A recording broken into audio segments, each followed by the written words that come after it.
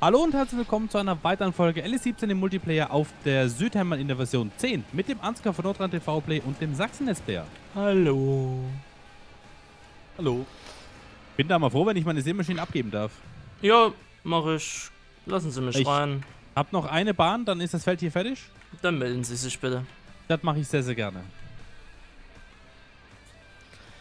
Ach ja. Gut. Nachdem Ansgar ja mal ausgiebig wieder gelacht hat, hatte man schon lange nicht mehr. Ja. Nach meiner. Irgend, Der, die nach irgendeiner war Geschichte. das letzte Mal, ne? Genau. Ja, ja, ja, Ich glaube, ja. irgendwas war's da, ja. Ach ja. ja, Schule kann schon Oh. lustig sein. Das muss man lassen. Also ich bin, glaube ich, einer derjenigen welchen, die die Schule nicht vermissen. Gar Jetzt nicht? mal so, nee. Sag mal so, ich habe einfach jetzt momentan sehr viel mehr Spaß in der Arbeit, als wie jetzt in der Schule damals, weißt du? Hm. Deswegen muss ich sagen, ja, Schule ist zwar wichtig und so weiter, ja, ganz klar. Aber jetzt äh, solche Späßchen, wie Ansgar gestern erzählt hat und sowas, das war bei uns ganz, ganz, ganz, ganz selten. Das war Ja? wirklich einmal im Jahr und das war's dann auch, weißt du? Oh, wow. No. Das ist echt an der Tagesordnung. Gut, Tagesordnung war es bei uns jetzt so auch nicht. Also, Tagesordnung ist jetzt vielleicht übertrieben, aber es kam schon häufiger vor, sag ich mal. Das, also, es war eine Masse vieler kleiner Streiche, wo jetzt nicht so. Zum Beispiel konnten wir aus unserem Fenster raus äh, schauen äh, auf den Schulhof und da standen dann auch immer ein paar Leute.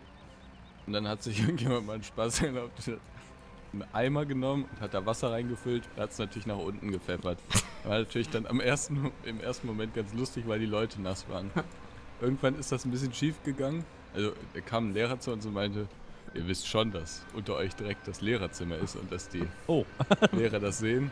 War dann schon, war also schon, wir waren öfter Thema im Klassenzimmer, äh, Kla äh, Lehrerzimmer, aber ähm, das war dann schon so das erste Warnsignal und dann irgendwann ist es schief gegangen. Dann hat jemand auf ein Heft von ähm, einer aus der Klasse unter uns ähm, das Wasser geschüttet und die war wenig begeistert, weil das ganze Heft nicht mehr zu gebrauchen war. Da war alles, da, Oh. da, da war, das war so ein Matheheft, da standen alle möglichen Regeln drin, also alles nicht mehr zu gebrauchen und die kamen wutschnaubend nach oben.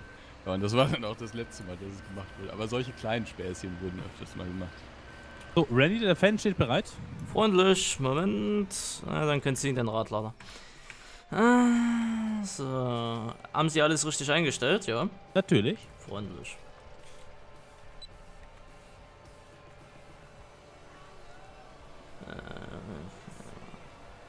Nein, nein, nein. Nicht richtig? Was? Doch, doch, passt. Wir brauchen noch Was? ein bisschen Kraftfutter, wa? Ja, ja. Können Sie weiter anmischen? Ah, was mir als schon einfällt, der Schule so dieser IT-Unterricht da, oder Mediengestaltung, wie der Kack bei uns hieß, das war ja auch immer so stinkend langweilig, jedenfalls für mich, weil da wurde dann den Noobs der Noobs halt beigebracht, wie sie mit Word und Excel umzugehen haben. Und was die Gefahren im Internet sind und alles, das hat mich natürlich damals relativ wenig interessiert, weil ich es schon wusste. Und ich habe dann immer die Zeit genutzt, um damals an meiner eigenen Homepage zu basteln, die heutzutage leider nicht mehr existiert. Schade drum. War eigentlich komplett für den Arsch, aber hat mich halt damals interessiert, deswegen habe ich es gemacht. Das waren dann damals so meine ersten Erfahrungen, so was, was, was äh, Homepages und Internet und die ganze Kacke da anging. Neben dem WoW-Zocken versteht sich. Ja, konnte man machen. Die anderen haben sich auf jamba.de die Realtöne angehört oder auf Music Load. Auch Oh, Diese- war diese- das noch... Ja. hm, das war noch die War Zeit das- von Music Load, ja. War das äh, Crazy Frog und so weiter? Ja, so eine Kacke. Ah. Oder damals hier, ach, was war denn das damals? Äh, Tokyo Hotel hier durch den Monsun. Ah ja. Bushido war da Klippe von der Skyline zum Bordstein zurück in der Phase. Und äh, die Firma hier mit die eine, die eine oder keine, ne? So eine Kacke. Also das war so der Zeitraum so circa. Ja, und da haben sich die meisten dann halt immer darüber halt diese Preview-Dinger angehört, also sprich 30 Sekunden von diesem Gedudel. Ne? Weil man Ja. kannte damals ja nichts anderes, ne? Sowas wie YouTube gab es zwar schon, aber noch nicht für Musik. Und ha, deswegen, die, der andere hat sich dann bei Jamba.de halt immer diese lustigen Crazy Frog Clips angeguckt oder die zwei Tassen. Ne? Ja, genau. Ne? Du erinnerst dich an dieses nervige Ge Ja, Gelümpel da. Ne? Das war auch immer so das andere Highlight. Da hat man einen in der Klasse, der war schon, ja, das war halt, ich glaube, André, André, Andreas, Andreas hieß der, glaube der hatte sowieso einen Schuss weg. Der war dann immer auf Seiten unterwegs, die man nicht besuchen sollte. Schon in der damaligen Zeit, bis er dann irgendwann mal Verbot bekommen hat, weil er es dann mal fertig gekriegt hat, ein Abonnement abzuschließen über Schulrechner und über die Schul-IP, sodass die Schule da eine Abmahnung bekommen hat im äh, vierstelligen Bereich. Oh. Ja. Das muss man halt auch erstmal schaffen. Das muss man halt wirklich auch erstmal schaffen. Ach ja, ja, und so ging das hin und her, ne? Das war damals der IT-Unterricht.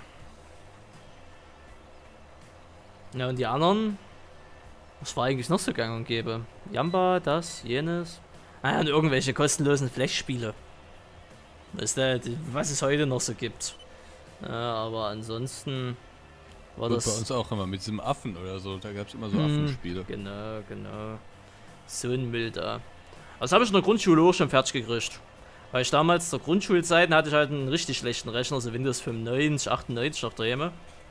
Ich hatte aber immer Computerbild-Spiele gehabt.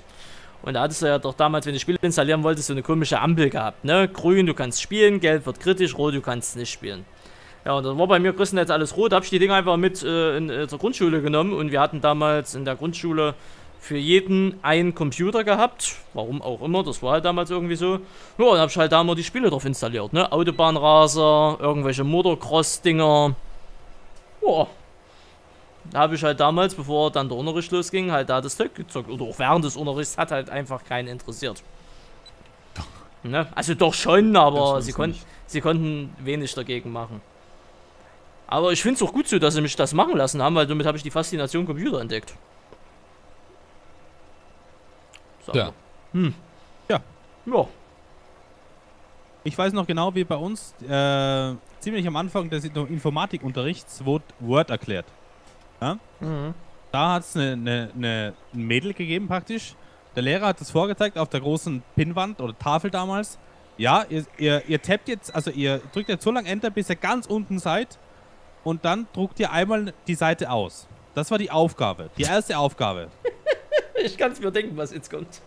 So, das Mädel drückt auf die Taste drauf. Fünf Minuten, sechs Minuten, wir waren 30 Leute, ne?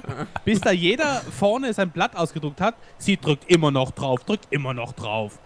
Dann der Lehrer irgendwann, ja, wer fällt denn jetzt noch? Und sieht dann so, ja, hier. Und er geht dann hin, druckt aus. So, Ja. was passiert? Es kommen ungefähr 150 oder 160 Seiten raus, weiß.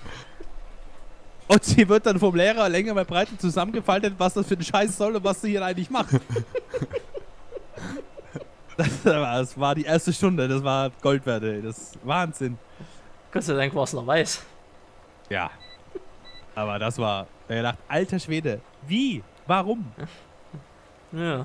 Sie hat halt wirklich aufs, aufs Ende gewartet, bis Ende da steht. Die- Ja. Sie dann halt als Begründung, ja, es kam immer eine neue Seite, ich habe immer weitergemacht, ne?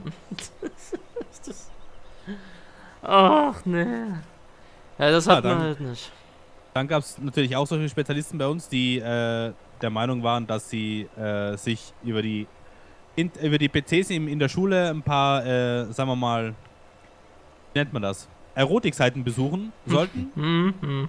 Und das Coole war, also was heißt cool? Das, das Geile war bei uns, äh, dass der Lehrer auf wahrsten die, Sinne des Wortes. ja richtig, äh, dass der Lehrer Zugriff auf alle PCs hatte von vorne und konnte Mhm. den Bildschirm aufrufen von demjenigen, den er gerade angepeilt hat, ne? Hm. Also meinetwegen, der hat eine, eine, jeder PC hat eine Zahl gehabt, das war der PC 22 und er hat dann mit diesem Programm, was bei ihm installiert war vorne, auf den PC 22 zugreifen können und das Bild des PCs 22 auf den großen Projektor projizieren.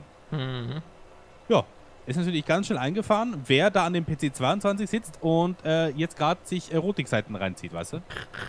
Wurde dann immer länger mal Breite zur Sau gemacht und wurde dann direkt zum Direktor gebeten. Ach ja, ne, das hatten wir auch so, dass der Lehrer vorne kon äh, das Kontroll gerotzt hatte. Das Schöne war aber, das Admin-Passwort war sehr schwierig bei uns. Also ich wusste es. Nutzername Administrator, Passwort Administrator. Ja, so, ja. so dumm war das. Wirklich so dumm war das. Habe ich mich damals schon drüber lustig gemacht. Und die Lehrerin, die wir da in diesem IT-Bereich hatten, die hat halt auch so getan, als. Also, ich meine, die, die ist nett. Ne? Heute würde ich noch sagen, wirklich eine nette Frau. Aber so aus, aus heutiger Kenntnisstand würde ich mich eigentlich nur noch über sie lustig machen. Damals hatte ich noch gedacht, naja gut, die hat wirklich Ahnung. Aber die hat halt wirklich gar keine Ahnung von der Materie. ne? Also, das war alleine schon mit Admin Admin, das war schon halt bekloppt und sonst wie, das ist genauso wie Ja Strauß. gut, aber oft passiert es halt echt auch, dass Le Lehrer irgendwas unterrichten müssen, wovon sie eigentlich gar keine Ahnung haben. Ja, aber dann sollten sie es doch einfach lassen, weißt du? Nein, Das geht ja nicht. Du kannst es ja nicht ablehnen. Ist Du doch musst es machen. Nee. Also wenn sich der Schüler besser auskennt als der Lehrer, ne? Dann wäre Das Zeit. ist eine missliche Lage, aber Ja. du kannst ja nicht sagen, das ist ja Arbeitsverweigerung. Du kannst ja nicht, das- das geht ja in einem normalen Job auch nicht. Machen Sie mal bitte das und das. Nee, mache ich nicht. Mache ich nicht. Habe ich nicht studiert. Das Habe ich, hab ich keinen Bock drauf. geht halt nicht. Ah, sie war-. Sie war nebenbei halt noch die erste Stellvertretung von der Schulleitung. Hm. Also musstest du auch immer sehr freundlich bleiben. Aber naja, die einzige Lehrerin, die wir hatten, die wirklich ist angenehm, also bis auf unseren letzten, weil das ein Mann war, aber die da, die wir davor hatten, die noch relativ angenehm war, die, hat, die war auch gleichzeitig Musiklehrerin. Die hatte ja dann mit mir Gott sei Dank diesen Deal halt ausgefochten, dass ich halt immer irgendwelche schriftlichen Prüfungen machen musste und ich danach benotet worden bin, weil sonst hätte ich Musik halt komplett verkackt und wäre eh eine Klasse nicht weitergekommen.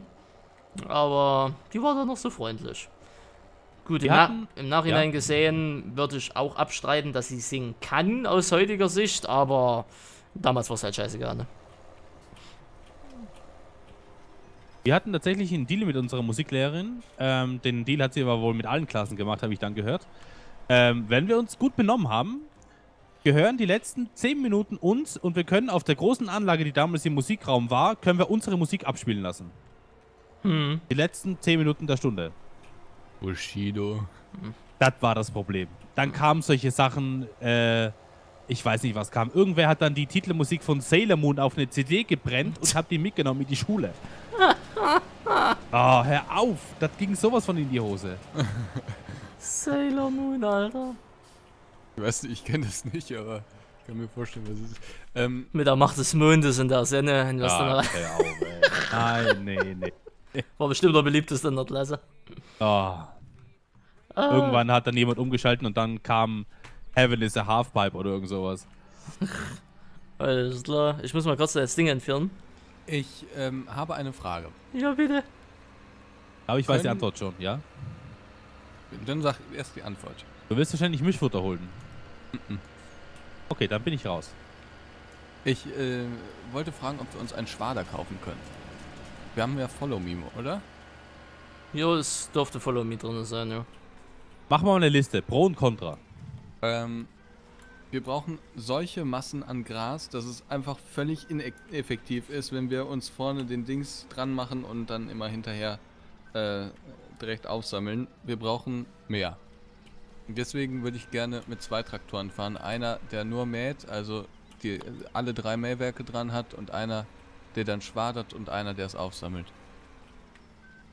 Bin ich okay. Von mir auch. Aber die Kohle wird nicht reichen. Doch. Ja, für den Zweischwart reicht's. Wir brauchen ja nicht den Mega, oder? Nee. Wenn der Zweischwart reicht meines Erachtens. Ja. Ja, Kauf gut, den. Na dann. So, hast schon. Okay. Ähm, darf ich, Ich den noch gehen oder? genutzt, den äh, Follow Me Mod, deswegen bräuchte ich gleich nochmal eine Erklärung, wie das funktioniert. Achso, du willst mit gerne. Volley machen, okay. Ja, du, oder? Wenn, wenn du, wenn wir das zu dritt, wir können auch die Wartezeit überbrücken. Eben, ich hätte jetzt geholfen, dann können wir das ganz fix. das äh, doch so. Haben wir eine Werkstatt am Hof? Nee, ne? Natürlich. Doch. Wo denn? Hier Hinten. hinten. Hinten. Ah, okay. Haben wir doch damals extra reingezimmert. Ach. Weil es ja damals bei meinem ersten Traktor hieß, was soll der Scheiß? Ja, der war aber auch zum Kotzen, weißt du? Musst du wirklich sagen. also das der war. wirklich- Also, liebe Tonne, Zuschauer, also. er hat gerade Fan zum Kotzen genannt. Nein, das ist nicht richtig. Der Äh, Fendt ist eine, Fendt. ist eine wunderbare Marke, aber die Kombination, wie du es gemacht hast mit den Zwillingsreifen, die äh, hat bei mir Wirkreiz erzeugt, weißt du? Also Das ist da einfach- macht ein anderer YouTube-Kollege Klickstar mit. Das ist richtig, aber sowas unterstütze ich einfach nicht, weißt du? Wer denn? You are not Mainstream. Das ist okay. Äh, It's okay. It's okay. Your time is over. Das ist auch okay. Liebe Leute, wir sind fertig für heute. Wenn es euch gefallen hat, lasst gerne einen Daumen nach oben da. Morgen geht's dann weiter auf der Südheimer. Bis dahin, macht es gut. Ciao, ciao. Mittel und.